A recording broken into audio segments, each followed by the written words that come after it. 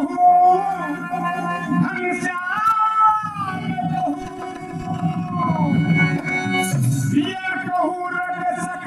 ये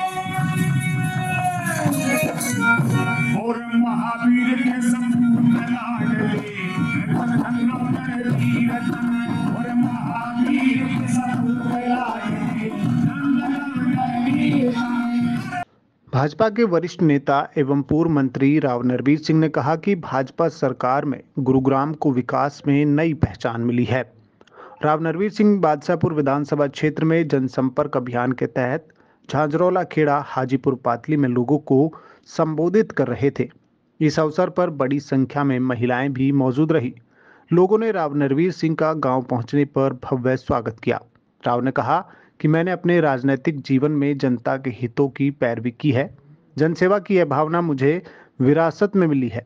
मेरे मंत्रिकाल में न केवल गुरुग्राम अपितु अहिरवाल क्षेत्र को विकास की दृष्टि से नई पहचान दी। ग्राम पंचायतों से प्रस्ताव मंगाकर क्षेत्र के विकास में कार्य किए, जिसके चलते क्षेत्र का कोई भी गाँव विकास से अछूता नहीं रहा। राव नरवीर सिंह ने कहा कि उन्होंने 2014 में भाजपा देश प्रदेश में सत्तारूढ़ है। प्रधानमंत्री नरेंद्र मोदी के नेतृत्व में देश प्रगति और खुशहाली की ओर अग्रसर है। अब भारतीय लोगों की विदेश में पहले के मुकाबले एक अलग ही पहचान है। मुख्यमंत्री मनोहर लाल खट्टर की कार्यशैली की सराहना करते हुए राव ने कहा कि नागरिकों को घर बैठे सरकारी सुविधाएँ प्रदान करने के लिए सरकार ने अनेक पोर्टल शुरू किए हैं।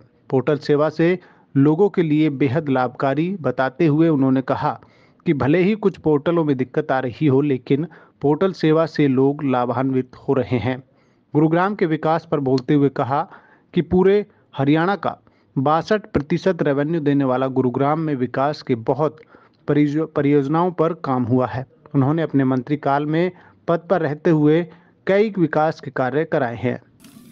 2014 में मैं यहाँ पहली बार चुनाव लड़ने के लिए आया। उससे पहले जब भी चुनाव लड़ा तो दूसरे इलाके से लड़ा और ये इलाका जो था, ये पटौदी विधानसभा क्षेत्र में था।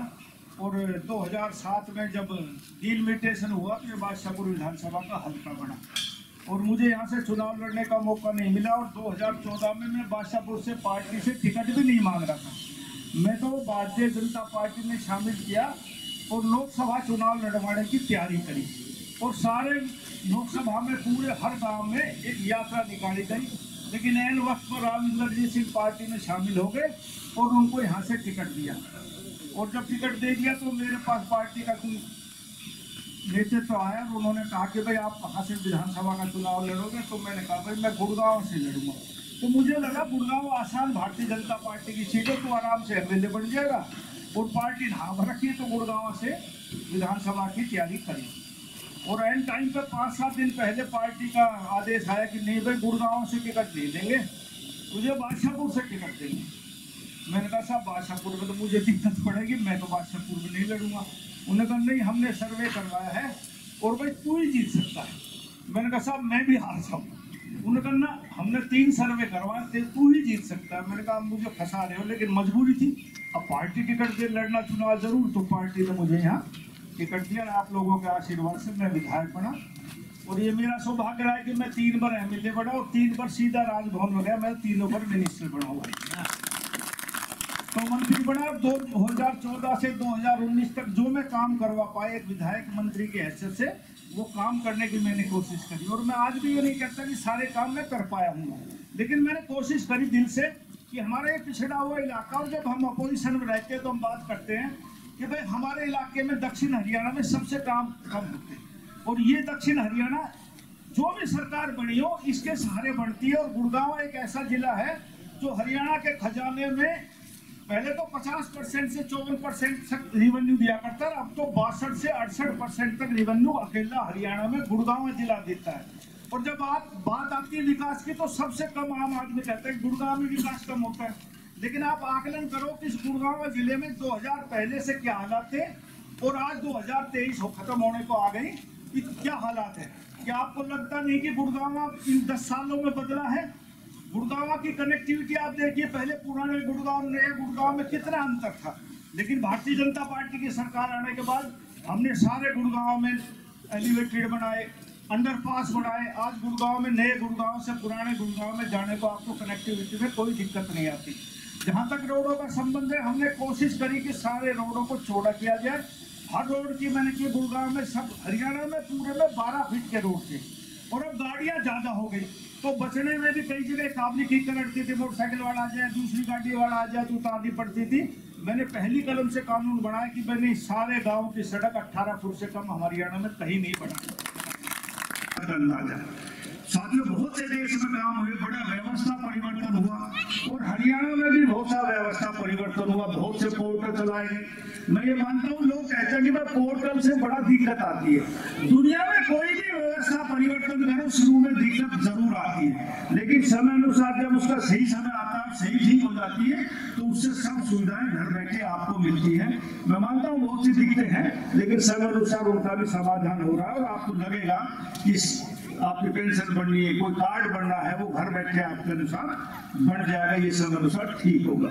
साथियों, जहाँ तक इस गुड़गांव ज़िले की बात है, मैं सारे हरियाणा की बात नहीं कर गुड़गांव की बात करता हूँ कि गुड़गांव जिला हरियाणा के खजाने में 2014 से पहले तकरीबन 50 परसेंट रेवेन्यू देता था।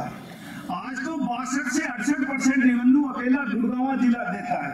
लेकिन जब बात आती थी राज करने की तो हर आदमी दक्षिण हरियाणा का चाहे कोई सी बिरादरी का हो, वो ये कहता था, राज हम बढ़ाते हैं। और जब भाई विकास का नंबर आता है तो जो मुख्यमंत्री बनता है, वो अपने ज़िले में विकास करता है। और ये बात सही भी थी।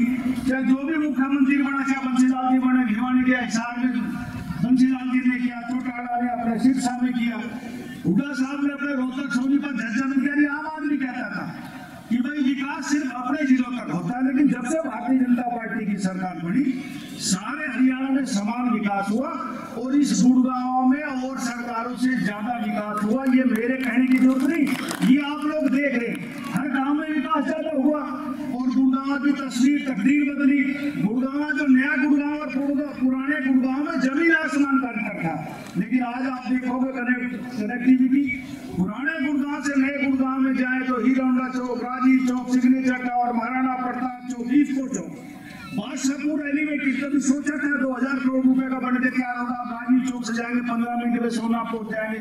और साथियों ये द्वारका एक्सप्रेस ये जब हमारी सरकार आई तो ये एस और एनपीआर का नाम था, जो खेड़ की दोला से उधर था उसको एस बोलते थे। और खेड़ के दोला से बंधेगा, इसको एनपीआर बोलते थे। नॉर्दर्न टेरिटरी रोड एक दिन मैं घूमते घूमते एक साथी की कार में, जब मिनिस्टर था प्राइवेट में घूमते घूमते गया तो बसगेड़ा में वो रोड बंद था। क्योंकि हुडा का रोड तो वहीं तक हरियाणा की सीमा थी। मैंने कहा, इस रोड का बनने का फ़ायदा क्या होगा? और चंडीगढ़ में कई बार हवाई जहाज़ से जाने का मौका मिलता था तो पीक टाइम में भी जाते थे।